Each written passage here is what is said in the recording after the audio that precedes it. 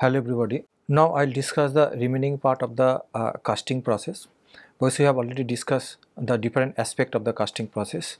So one of the important aspect of casting process is the superheating of the uh, material, molten material. So uh, it is very important properties because we can make a, a count of the how much time it will require to reach the mold cavity such that we can assume that at this particular point of time the material should remain in the liquid phase such that it will be able to fill each and every corner points of the uh, mold cavity. So, that is why pouring temperature is very important and it is also having we can see that this pouring temperature if too much of superheating is there for the uh, liquid metal then there is another possibility problem is there the entrapment of the uh, gases surrounding atmospheric gases can be a problem and that will try to create some kind of the defects associated with the casting process. So, herefore, uh, we can see that uh, this con two contradicting aspect and we see we always try to look into what are the measurement of the fluidity of the liquid metal because based on that we can say how quickly or how efficiently it can fill the mold cavity.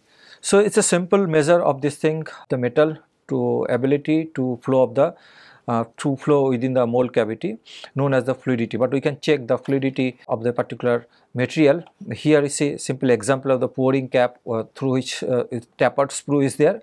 And we can put the liquid metal from the top. And we can see count the flow of the liquid metal through this channel. Uh, we can see the which is on the base basically. And up to certain point it will start when the its temperature temperature reach of the liquid metal to close to the the solidification temperature and start solidifying. That means start changing the phase from liquid to solid phase. So, here you can make a count on the time that up to which distance it can move and with a certain velocity and based on that we say that the what is the fluidity of this particular liquid metal. So, that is why the fluidity is one important uh, properties associated with the uh, casting process. But before discussion of the fluidity of the casting process, we need to understand that when there is a change of the phase of the liquid matter from uh, liquid phase to the solid phase, this differs depending upon the whether we are handling the pure metal or we are handling the alloy. So, alloy solidification and pure metal these are the, the range of the solidification temperature is actually different. We see the melting point of the pure metal is more or less constant one single temperature and it takes some time to change the phase from liquid phase to solid phase and that typically known as the cooling curve of a particular uh, material. So, if you see the right hand side figure also here you see there is a when it is an alloy system then it, there is a it uh, the solidification does not occurs over a not a single temperature so, rather the solidification occurs over a range of the temperature that range of the temperature is known as the between the liquidus temperature and the solidus temperature. So, solidification start at the liquidus temperature and solidification ends at the uh, solidus temperature and that is we say this is the very ideal situation for under equilibrium solidification conditions. So, this is the uh, another cooling curve associated with the alloy system. So, we can easily distinguish the cooling curve between the pure metal and cooling curve of an, an alloy system. Now other aspect also and in a casting process when you try to um, overall analyze the cooling curve there are different phase associated with the cooling curve. Here you can understand graphically that uh, during the, the looking into the time versus temperature diagram here we represent the different uh, aspect of the cooling curve. So first we start with the pouring temperature. Pouring temperature means uh, it is having some kind of the superheat and this is the starting point is from this point. So, this is the pouring temperature of the liquid metal. Now, this liquid metal uh, and now when it, uh, liquid metal is poured into the mold cavity when it start the solidification, solidification is actually start this point and but before that this amount of temperature between this the pouring temperature this is known as the superheat temperature. So uh, superheat temperature so some superheat temperature is actually required.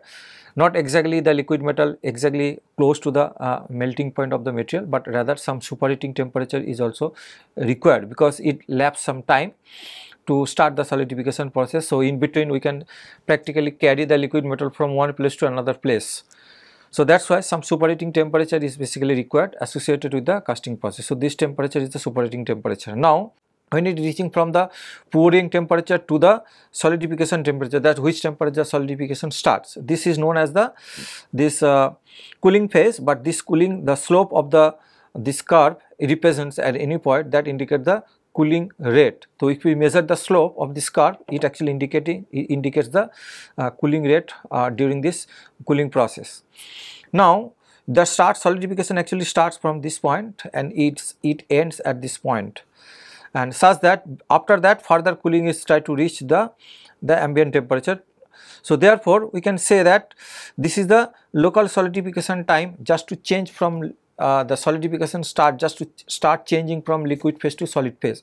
So, this time span is known as the local solidification time, but if we count from the pouring temperature take this as a reference with respect to it we can say this is the total solidification time.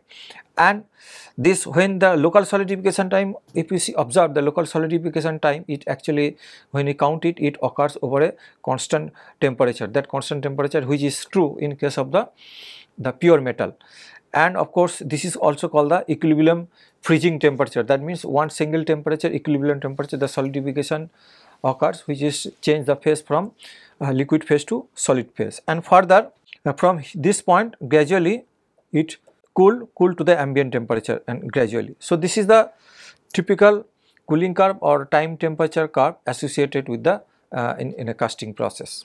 Now, we look into other distinguished aspect of the casting process that is for the design of the core. First, it is also necessary to understand the where is the utilization of the core. Core is in the sand mold casting process. Core is actually used and the within the liquid metal and the CP you want to create any kind of the hollow section and uh, in that cases we need to put some kind of the uh, core inside the mold cavity. So, suppose this is the core so, here we assume this is the core and other are, other parts of the casting system is that one is that pouring basin is there, then sprue is there, then runner is there. Up through the runner it enters the mold cavity and at the one side it is there the riser is also there. And this is the core is the uh, uh, um, this is the the solid part which is basically final in a final component it will create the hollow part of the actual casting process. Now uh, this is the this is cores and we see that from this figure that when is molten metal is poured from the top it is passes through the sprue that we have already discussed and it is passes through the runner and it enters the mold cavity. And riser is there because if there when there is a solidification occurs within this uh, this mold cavity so some shrinkage will definitely occur because shrinkage will overall shrinkage will be maybe considerable when there is a change of the phase from liquid phase to solid phase. So, to compensate that shrinkage volume the riser is actually placed here. So, riser is supply the liquid metal which is basically compensate the shrinkage volume in the uh, mold cavity. So, these are the all prospect but here the focus is on the core. Now, when core is there, so when liquid metal enter from the top and liquid metal enter from the bottom. So, definitely there is a it is subject to, to some liquid metal pressure. So, core should be hard enough to able to sustain with the that it or it will not it should not collapse with the, appli the application of the the um, pressure created by the liquid metal within the mold cavity. We can count, we can calculate what is the pressure can be created by this mold cavity uh, on the on the core. So basically core can be core sand, so we make uh, it can be made of the sand. So usually clay free silica sand we use for the making the core. So but binders can be different types of the oil um, that core oil resin dextrin these are the different kind of the uh, binding agent is added with the sand and then it is created kind of very close to the cylindrical type of the structure the uh, the solid structure that is placed inside the mold cavity. Now this core is subjected to some kind of the buoyancy force associated with these things. Now here you can see the we know that how to calculate the buoyancy force is subjected to uh, to this core is the uh, net buoyancy force application what is the weight of the liquid metal which is actually displaced by the core. So, we have to calculate weight of the liquid metal which is equivalent to the volume of the uh, of the core. So, that is that can be counted as a this uh, volume uh, V and V is the volume of the core and G and rho.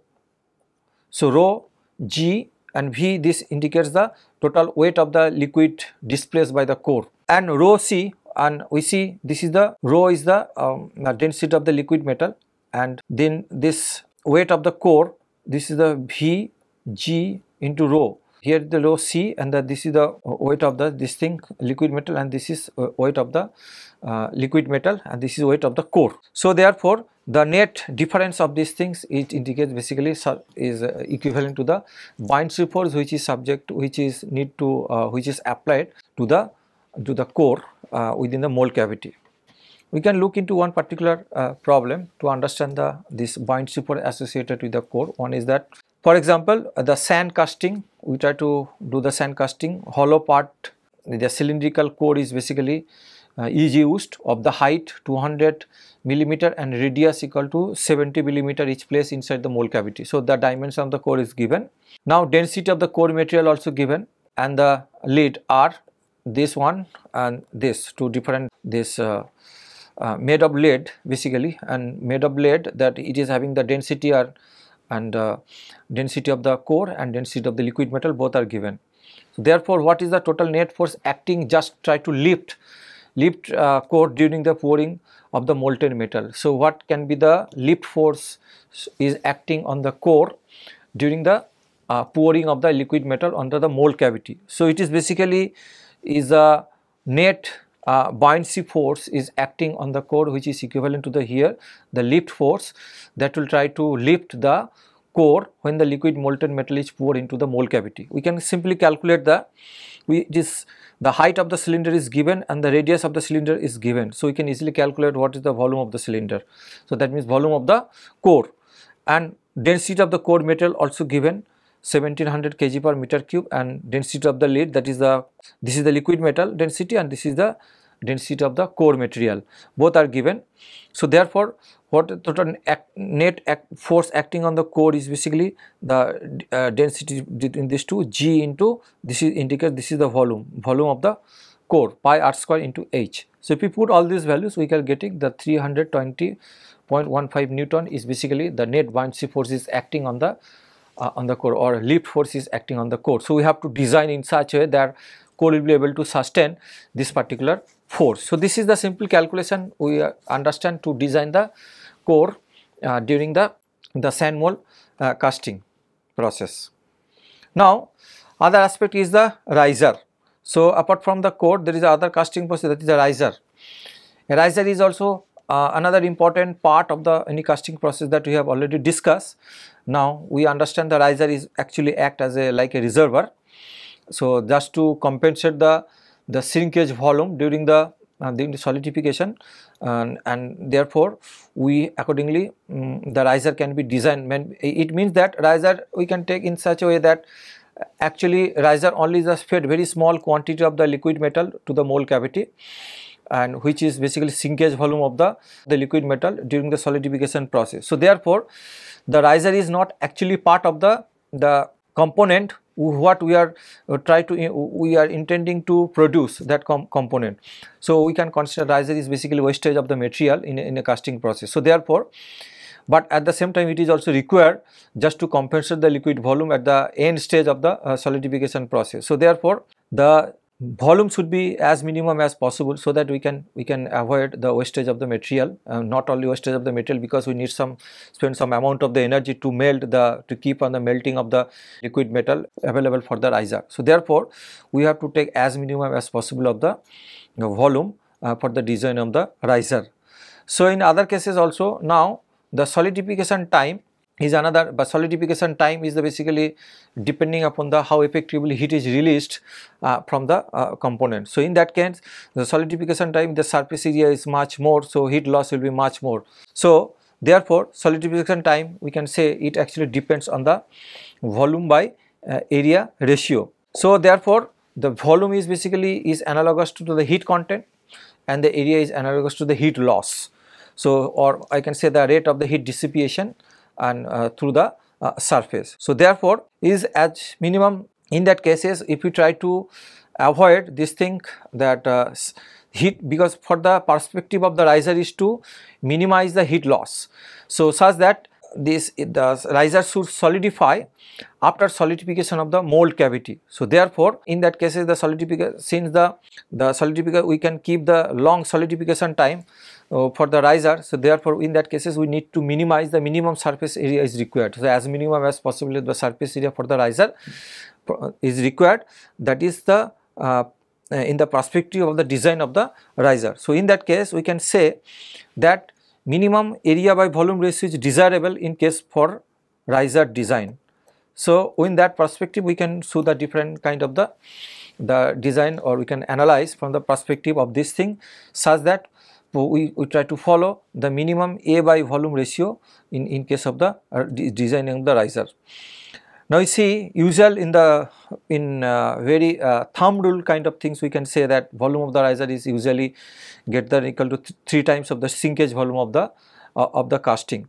So therefore if you see the typical pattern of the mm, volume shrinkage in a riser, so suppose it is cylindrical riser the volume shrinkage is basically the shrinkage will occur in this way. So supply for the riser. So uh, for the riser, so therefore we can divide this thing that if this is the shrinkage volume which is supplied to the casting so this shrinkage volume if you see this is typical shape the this shrinkage volume is basically uh, other particular the uh, but we have to count. This is the typical pattern after shrinkage of the the liquid uh, shrinkage of the volume or after sup supply of the liquid liquid metal to the casting. So it takes this particular shape so here you can approximately we can say in that cases the volume of the riser, the volume of the riser should be actually 3 times of the shrinkage volume of the casting. So if it is total volume, we can say this is the 1, 2 and 3 are equal parts. So therefore, the volume of the riser is basically the shrinkage volume of the uh, casting almost 3 times of the shrinkage of the volume so, the, in that cases this is the thumb rule the volume of the riser should be greater than equal to 3, 3 times of the shrinkage volume of the casting 3 into VSC. So, therefore, VSC is basically percentage of the shrinkage into 100 into the volume of casting. We can calculate what is the shrinkage volume. Shrinkage volume for a particular material shrinkage volume are different. So, we can casting the shrinkage volume in terms of the volume of the casting. Now, here we understand that for the designing of the riser the heat transfer from the riser should be as minimum as possible. So, in that cases we can say the different check the different geometric shape of the riser. For example, we can compare regular geometric shape say cubic shape, sphere shape and the cylindrical shape. Now, in the, all these cases for the same amount of the volume between the cube, cube structure, sphere and cylinder structure. For the same volume, if we compare the surface area uh, between these two, the cube, sphere and the cylinder assuming that having the all are having the same volume and surface area is the same and assuming the diameter is equal to the height of the cylinder. So, from that perspective we can say their ratio or the volume should be 1 is to 0 0.724 into 0 0.886 their volume volume ratio will be like that. Now, if the surface area is the same all these three cases. Now, if you see that uh, in, this case the sphere is having the this uh, the minimum volume. So, in that cases although the surface area is the same between these three geometric shape the minimum volume of the sphere is there. So, it is basically advisable to make the riser uh, because uh, the, the having the minimum volume because minimum volume means the minimum wastage of the material will be there. So, therefore, sphere can be chosen, but problem is the uh, the sphere is that it's the making the practically the manufacturing of the spherical shape of the riser is actually difficult and that is why the next choice for the geometric shape of the riser is the basically you see the cylinder because cylinder is the next uh, minimum amount of the volume as compared to the uh, cube cubic shape. So, in that sense the we can consider the cylindrical riser is uh, the most of the cases because it is having the minimum volume or the less volume as compared to the cubic structure. Uh, although surface area is the same but volume is the less in case of the cylindrical riser.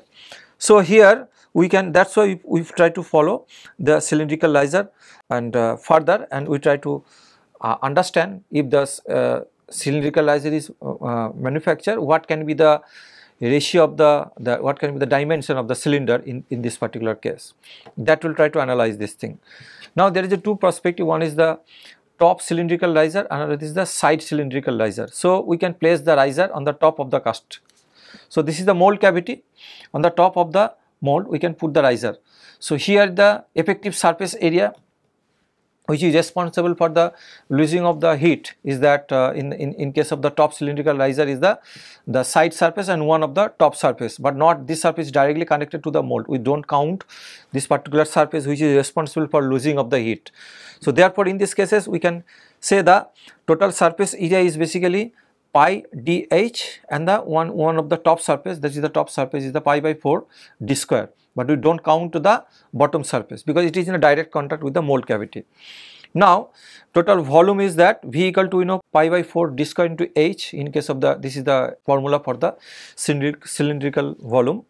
Uh, from here we can say H equal to in terms of the 4 V by pi d square. Now we can keep the pi dh so H we replace the height in terms of the the other parameter volume and the diameter. Finally reach this is the surf total surface area equal to 4 V by d plus pi by 4 into d square. So here this is the surface area. So we can see that the when the uh, try to do the minimization of the surface area that means as minimum as possible then the heat loss will be less. So we can do the minimum surface area uh, basically it is true for the minimum heat transfer. So the with respect to d variable d we can we can get it uh, this thing dAs by dd equal to 0 uh, from there uh, we can say that we reach h equal to uh, d by 2 but of course in these cases we calculate the volume remains the uh, constant volume is not variable here. So we see that we can see the top cylindrical riser is basically the age the dimension of the height should be the equal to the radius or it is a d by 2. Similar exercise you can perform in case of the side cylindrical riser, but difference is that in side cylindrical riser all the surfaces are the heat transfer area. So therefore we can count the total surface area equal pi dh plus 2 into pi by 4 into d square. This is the the top surface plus bottom surface and because it is the nature of the uh, type of the riser because it is the the side cylindrical riser. So all surfaces are responsible for losing of the heat uh, in this case. So we count total surface area is this one similar we re relate is the heat uh, height in terms of the volume and the diameter put it and we will get this expression and we can say that for minimum surface area dAs by dt equal to 0 from there we can find out H equal to D. So we can see that the in case of the side cylindrical riser so height should be equal to the diameter. So simply by minimizing the surface area so basically by minimizing the heat loss we can design the riser in such a way that if it is the uh, top cylindrical riser then H equal to top cylindrical riser H equal to D by 2 but side cylindrical riser H equal to D. This is the typical dimension or design of the riser depending upon the nature of the riser whether it is top cylindrical riser or, or there is the bottom the side cylindrical riser.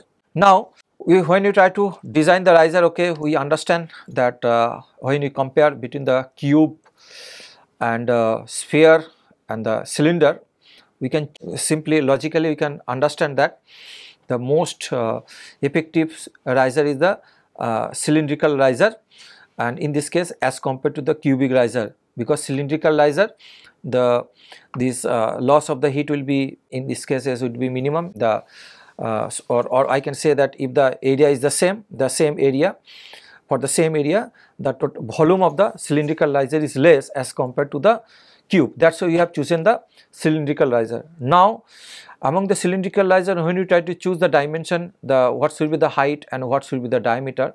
So in that case we understand uh, that just we get this conclusion what could be the relation between the H and D. We just simply minimize the surface area just such that there will be the heat loss will be the minimum. So from that perspective we can get the different relation between the H and the, height and the uh, diameter of the cylinder. Now once you establish the cylindrical riser then we try to check the in practical the adequacy of the uh, size of the uh, casting uh, size of the riser for casting we can use usually the Caine's method we can use it. It is based on the relationship between the cooling rate is linearly proportional to the ratio of the surface area and volume. We see that here we counting that cooling rate is basically cooling rate it depends on the the surface area and the uh, ratio of the surface area and volume so therefore, we can we can estimate the freezing ratio, the area by volume of a casting that means the cast component, the what is the area by volume in practical and area by volume ratio in case of the riser. So in case of the A by V calculation for the casting, A by V for the riser if we calculate it and that ratio indicate the freezing ratio and volume ratio is simply indicates the Y is basically VR by VC. So, volume of the riser divided by the volume of the casting and based on that we can plot it because in practical the geometric shape of the the cast volume can be different. So we can make we can calculate what is the total area by volume ratio of a of the uh, cast component and what is the area by volume ratio of the riser and based on that uh, we can see we can find out this thing and we can get the several uh, create the several data point and because here you can see the volume ratio of the along the y axis and x axis is the uh, freezing ratio. So, freezing ratio x axis and y axis represent the volume ratio and we, we relate between these two that uh, so many data points uh, the this x and y value and from there we see this this can be the curve. So, this can be the curve and this functional relation represents this kind of the equation equation raising the curve x x equal to a by y minus b plus c. So, this is the relation where a is the freezing constant of the material and b is the contraction ratio from the liquid to solid and c is basically constant it depends on the medium around the riser and the casting. So, what kind of the medium we can use the it can be sand or composition of sand can be different and uh, like that. So, therefore, medium surrounding this thing it is the if it is a sand uh, the media is the same and it is equal to 1 if the media is the same around the riser and cast. So, riser and cast if the same medium we can utilize then it can be C can be equal to the 1. But anyway we create the data point by calculating simply the x and y and if we fit it we get this kind of the relation. So, the other side it represents the very sound casting if it is the x by y value in such way that is less than this value this particular curve then it is indicate the defective casting process. So, this way we can go through the some practical design of the uh, casting process this case. So, this is one aspect and other cases we can give the Naval Research method. Naval Research method we can for a very complex geometry sometimes it is very difficult to calculate the A by V ratio for the casting which is very very tedious task to calculate A by V ratio for the casting process if the structure is very very complex. In these cases what we can do we can estimate the shape factor. Shape factor means the where is the L plus W by 2 L is the mm, is the maximum length W is the width of the component and T is the thickness of the casting. So, based on the length, width and thickness we can estimate the shape factor and then we can plot the data in terms of the x axis as a shape factor and y axis as a volume ratio.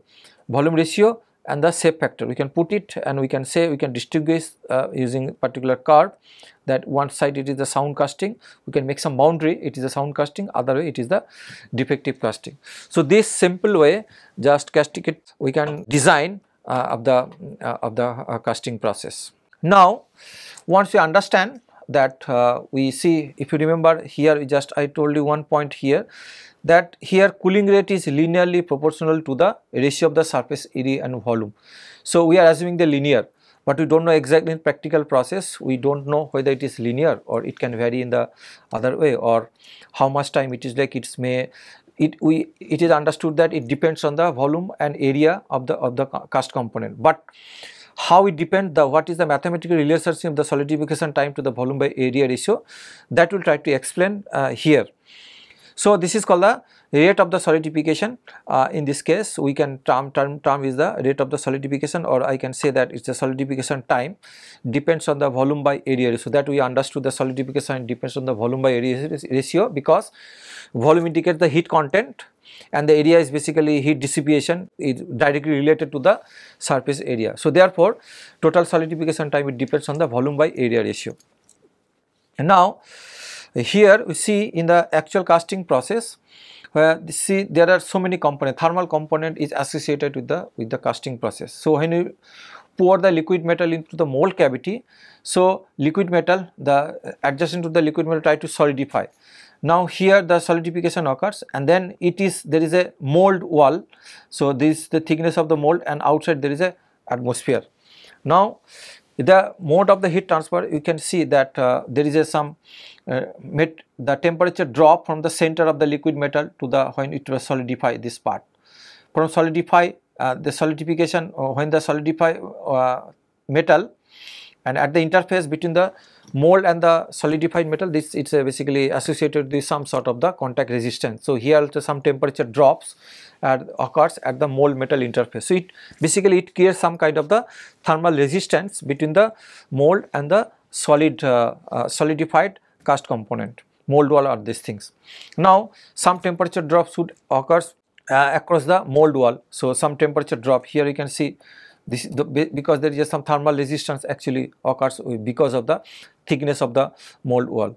Now, it is mold wall and away from this thing here there is some convective heat loss from the mold wall to the outside atmosphere. So, here also we can get some kind of the temperature difference or I can say convective heat transfer occurs. So, in other way it will create some kind of the contact resistance or thermal resistance associated with the, the between the mold and the um, air. So, this way we can see there are so many thermal resistance components usually there are 5 different thermal resistance components is actually associated in the with the when you eh, any kind of the, the sand mold casting process. But in this case this contact resistance and the which resistance dominates it actually depends on the type of the casting process. So here we try to discuss in the two different type of the casting process which is most widely used and we can see which thermal resistance components actually dominates in this particular uh, casting process. One is the very large casting. So large casting uh, in an insulated mold is basically sand casting or the investment casting. So, sand and investment casting here thermal resistance mainly offered by the mold wall. So, maximum thermal resistance is offered by the mold. So, here you can consider these are the dominating thermal resistance. So, I say that the heat transfer is basically assuming the thermal resistance in the mold wall and based on that we can estimate what is the solidification time. So, in this case, so which is specifically true in case of the sand casting or investment casting process. So, we are assuming only this is the thermal resistance components we are neglecting the thermal other thermal resistance components and based on that we can reach that solidification time it depends on the omega into volume by area square. So, I am not going into the derivation of this thing, but rather we can directly write this equation.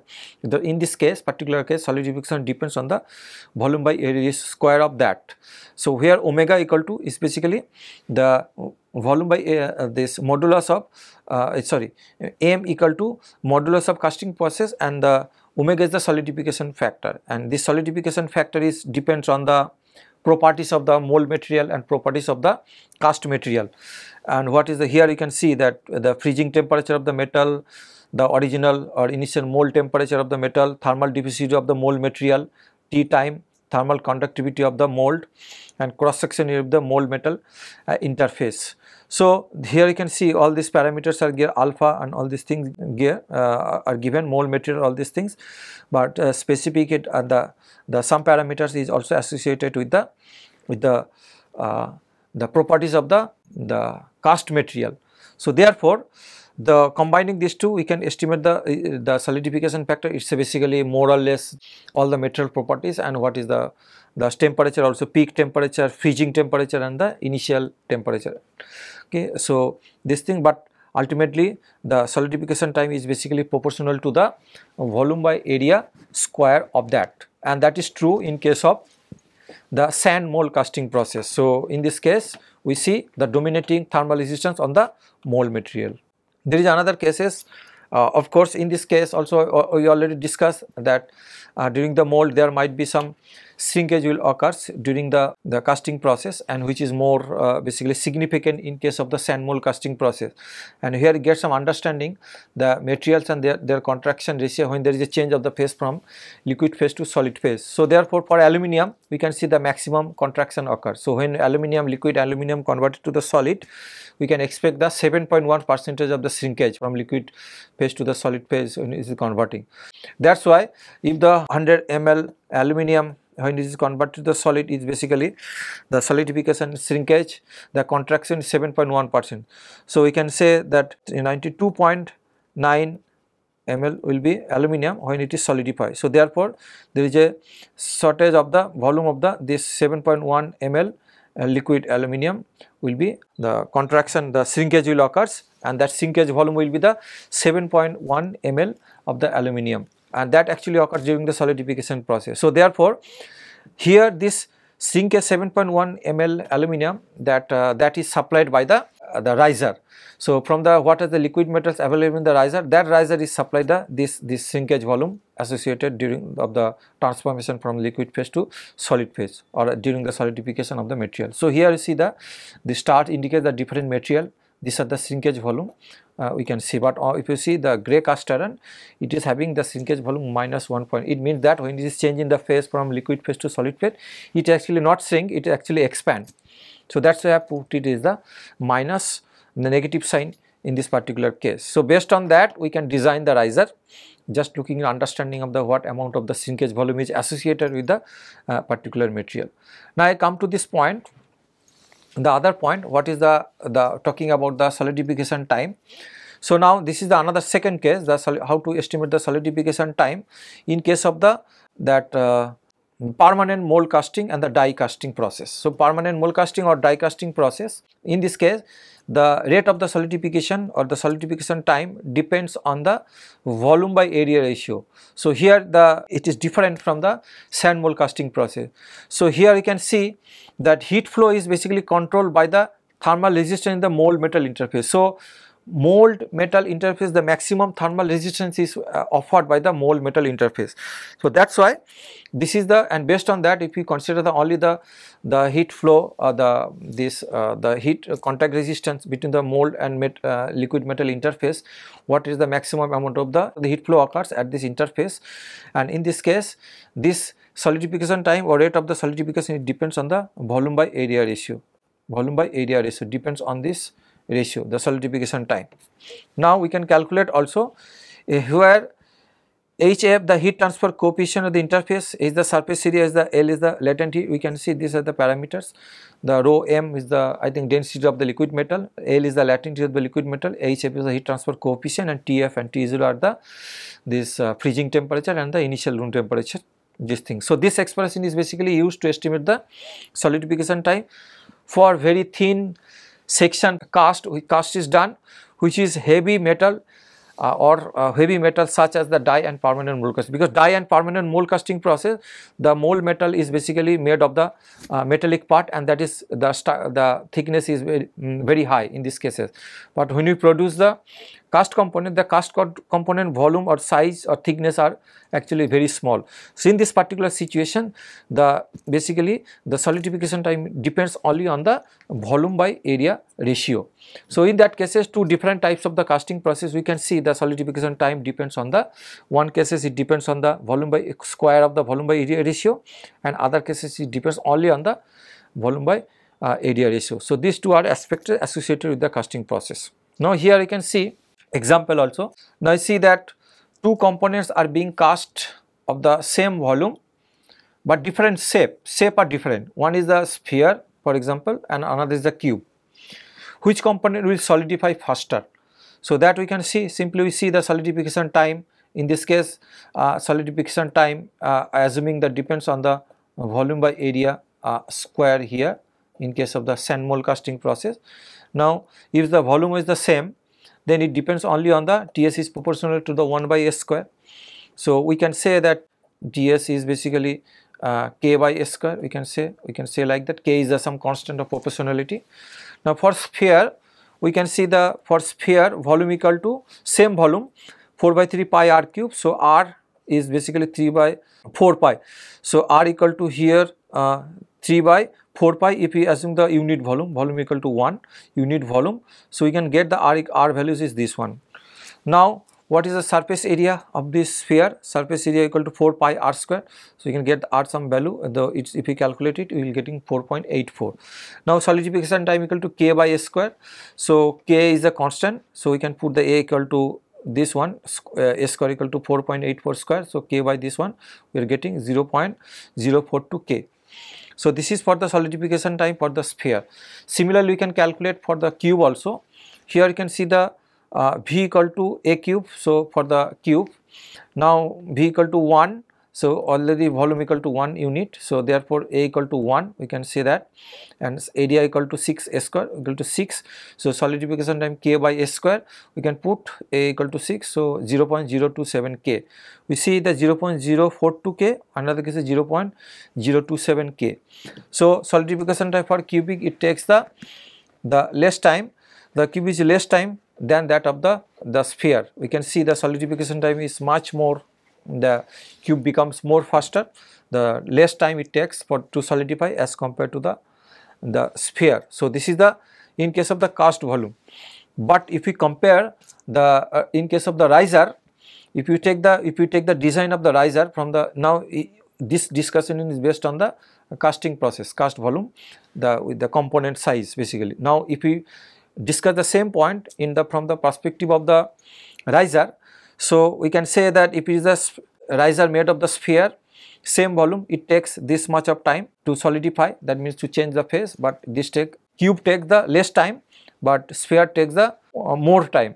But when you try to design in, in the perspective of the riser we should choose the sphere not the cube process. Because sphere can take much more time as compared to the cube and our objective to choose the riser is that that it takes longer solidification time such that it will be able to the supply the liquid metal at the end of the, uh, the casting process. So, that is why from the riser perspective the, uh, the sphere uh, is the better option as compared to the cube and that we have already discussed from the uh, riser uh, perspective that when you try to design the riser we can take the uh, spherical shape is better than uh, as compared to the cube shape although their volume is the same but surface area are different so, surface area are different in, in such a way the sphere takes much more time that is why risers should be made of the sphere not the form of a cube. So, from this example we can understand the, the, the basic understanding of the design perspective of the cast volume and the design perspective of the riser volume. Now, based on all this understanding there are so many different special type of the casting process have been developed. I, I am mentioning the few here. Maybe the some special type of the casting process. One is the shell mold casting investment casting process permanent mold casting process then die casting. Die casting also two different types of the die casting hot chamber die casting cold chamber die casting then centrifugal casting. So horizontal centrifugal vertical semi centrifugal centrifuging these are the different types of the centrifugal casting. Even that there is a dry sand molding also slush casting squeeze casting process single crystal casting pressure casting process. So we can see that based on this understanding on this thing there are so many different types of the casting process has been developed but we will discuss all the different types of the, the casting process probably in the next module. So this module I just uh, try to design just to get an overview of the uh, casting process. So I think that is all. Uh, thank you very much for your kind attention.